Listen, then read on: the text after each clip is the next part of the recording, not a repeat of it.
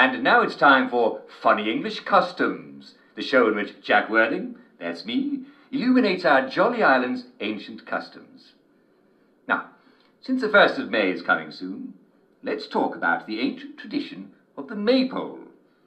Some people claim the maypole was a naughty Roman ritual about, well, we're all grown ups here, aren't we?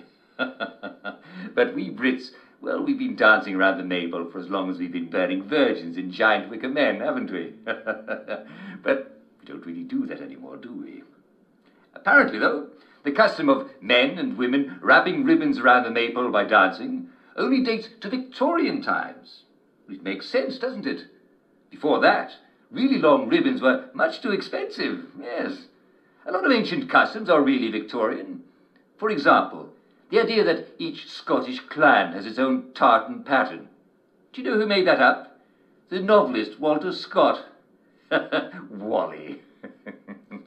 of course, you're liable to work up quite a burning thirst dancing round a maypole, aren't you? What's the perfect drink to put out those fires? Why, Summerisle Ale, of course. And the head brewer, Lord Summerisle, as they call him, has brewed up a very special medieval ale to sell only in the first week of May. It's called a gruit. Instead of hops, it's seasoned with marsh rosemary, bog myrtle, and yarrow.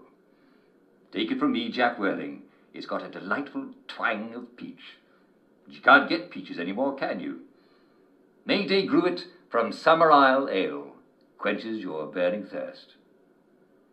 Well, I'm afraid we've come to the end of our time. Tune in again soon for more Uncle Jack.